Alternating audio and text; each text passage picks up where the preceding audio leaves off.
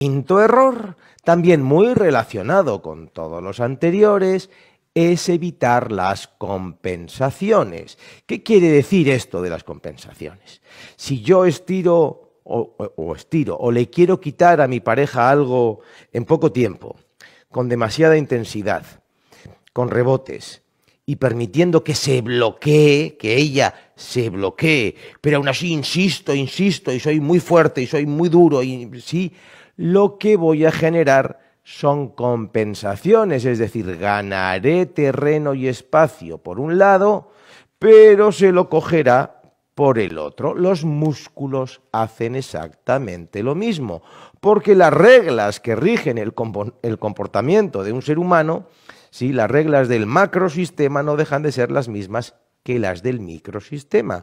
De hecho, se está estirando el cuádriceps, pero se está estirando el cuádriceps de una persona, de un individuo completo, con lo cual va a responder igual que responde el individuo completo. Y los músculos tienen una tendencia tremenda, innata, porque no quieren perder como las personas, a compensar si lo que les quitas se los quitas con fuerza, con intensidad, con rebote y con bloqueo.